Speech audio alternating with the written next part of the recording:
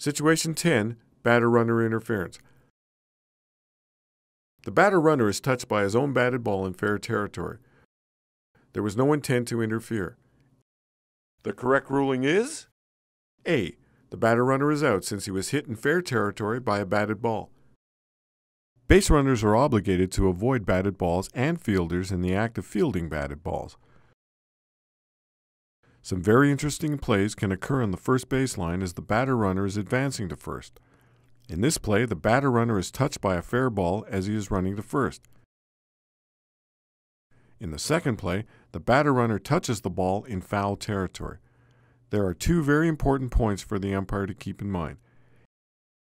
Anytime a batter runner is touched in fair territory as he is advancing to first, he is out, regardless of intent. And secondly, when a batter runner touches a batted ball in foul territory, he is not out unless his action is deemed to be intentional by the umpire.